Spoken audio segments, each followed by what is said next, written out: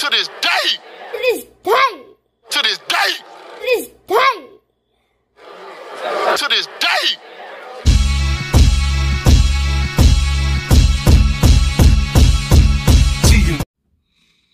What's up, fight fans? This is Kurt DeVille with Counterpunch Boxing News, and I have some new news concerning Michael Rivera. Get this Michael Rivera says to undefeated guys such as Martin, he says they have never fought somebody like me. Michael Rivera respects Frank Martin's boxing ability and his willingness to take a difficult fight against the unbeaten opponent at this stage of his career. But the 24 year old Rivera who is three years younger than Martin, still feels that he is better prepared for their 12 round WBA elimination bout. Okay.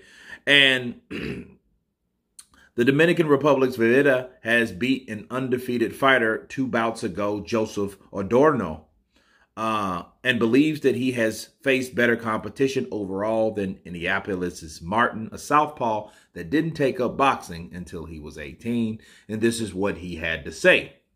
He said, I have undefeated guys on my record before, Rivera said.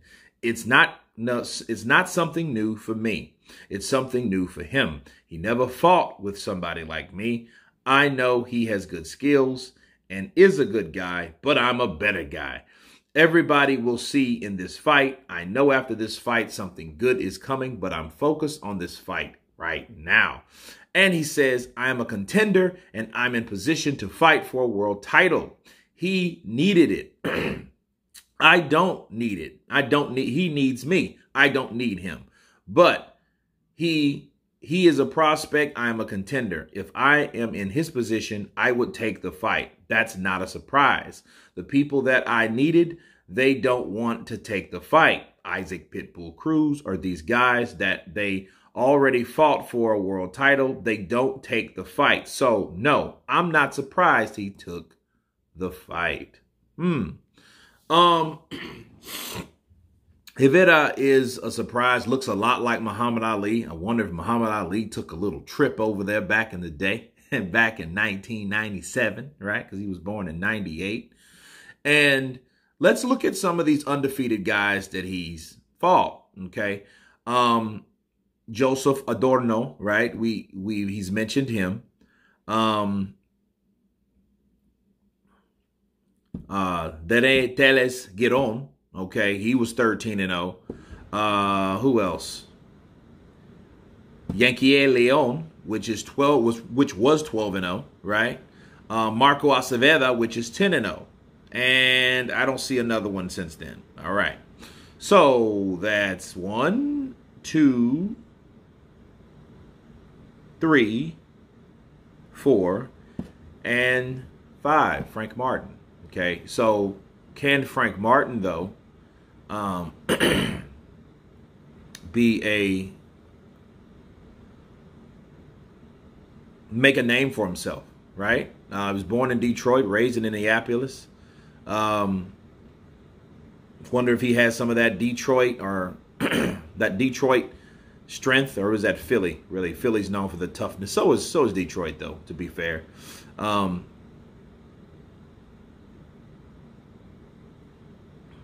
okay, yeah. Um, as far as as far as competition goes, Michael is right. I mean, I don't really see Frank Martin doing a lot. I mean, I know he's 16 and 0.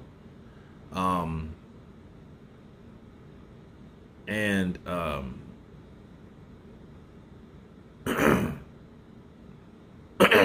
Excuse me. Okay. And um, these guys that are undefeated, though, on um, Rivera's record, one that the one that really sticks out to me wasn't an undefeated fighter at all. You know, um, he was actually. Uh, John Hernandez from Spain. Okay. And, um, oh yeah, BoxRec trips. It, it's tripping. But anyhow, John, for Jon Fernandez. Jon Fernandez was uh, 21 and 1. Okay. And if you look at his record, Jon Fernandez was um well actually no, he was um now he's 23 and 3. But when he fought Rivera, he was um he had lost only one fight, okay? And that was by um O'Shaquie Foster, right? And and he lost a unanimous decision. But with Rivera, you know, he lost with a KO because Rivera got him out of there, and it was a very good fight. And that's when Michael Rivera came on the radar to me because I seen uh, Jon Fernandez, and Jon Fernandez was a top quality fighter, very good skills, good inside fighting, great defense, you know, and he was an overall uh, good prospect. Okay, until Okay, of course, Foster, he fought Foster, lost a unanimous decision, and then he went up against the unbeaten Rivera. Okay, so when Rivera, when he fought Rivera, Rivera was flashy, he was in and out, he had that Ali style, that shuffle, you know, and I was thinking to myself, who in the Hades is this guy? Where did he come from? He comes from DR. Okay, so, you know, that's who he ended up losing against. You know, of course, he's lost again to Samuel Molina, but you know, um, needless to say, Michael Rivera came on the radar, and I think he has a better uh, resume. So it's going to really be up to um,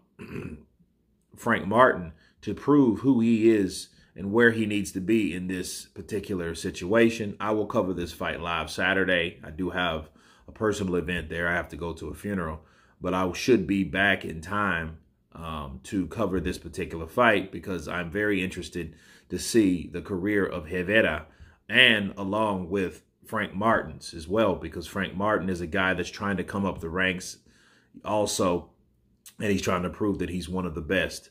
But you guys tell me what you think of Michael Rivera saying that, hey, uh, Frank Martin is nothing new. I've beat undefeated guys before. Of course, please subscribe. And you guys been counterpunch. Peace.